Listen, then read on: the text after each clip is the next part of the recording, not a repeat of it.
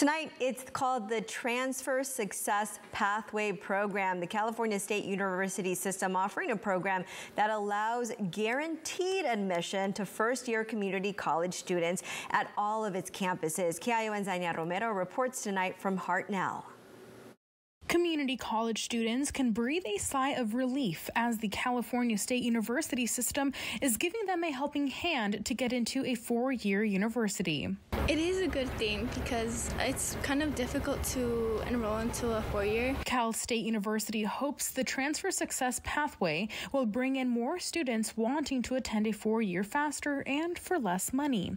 Students at Hartnell College in Salinas see this program as an opportunity to higher education. I think it'll definitely help more students and mean, as someone who wants to attend a four-year university. Definitely. Or some of them, like, yeah, or be more encouraged to see that they can get more out of it. Starting this fall, California high school students enrolling in community college can receive dual admission to a Cal State University in the major of their choice if all eligibility requirements are met for the university. Yes, I feel that's a, a good uh, at boosting my confidence since I I'm a I want to be a business major, and it's kind of difficult to enter that field.